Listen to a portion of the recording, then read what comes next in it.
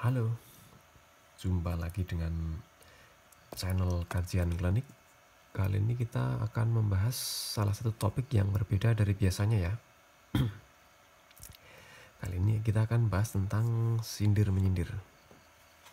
Nah, apakah itu? Yakni ucapan atau kata-kata sindiran untuk orang yang iri sama kita atau dengki atau cemburu ya. Karena kan lagi musimnya gini ya. Iri bilang bos. Nah, lantas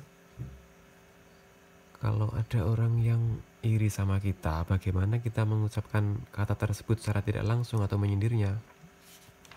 Saya akan berikan dua contoh kata saja ya, secara sederhana dua kata untuk orang iri atau dengki atau uh, tidak suka pada kita.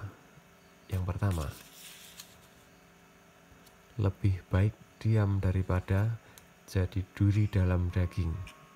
Nah, ini maksudnya gimana?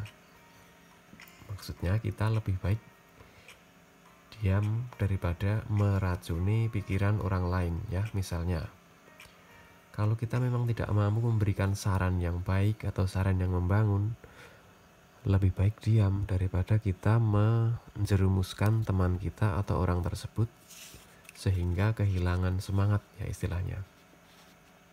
Yang kedua, lebih baik diam daripada jadi setan. Nah ini agak keras. Maksudnya gimana?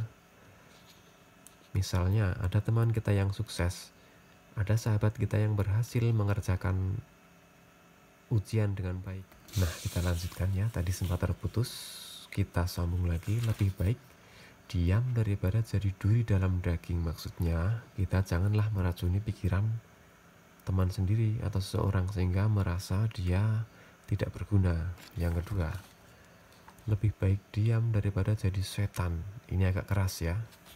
Maksudnya lebih baik kita diam ketika seseorang itu sukses daripada kita menjerumuskan atau membuatnya tidak bersemangat.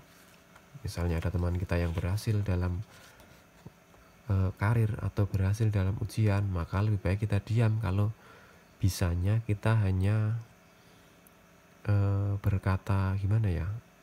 Pokoknya yang jelek-jelek lah yang membuat semangatnya hilang. Nah, itu kan sama saja menjadi setan ya. Kalau memang tidak bisa memberikan pujian, tidak bisa memberikan semangat pada teman sendiri, lebih baik kita diam saja. Diam itu mas ya. Sekian dari kajian klinik kali ini. Sampai jumpa.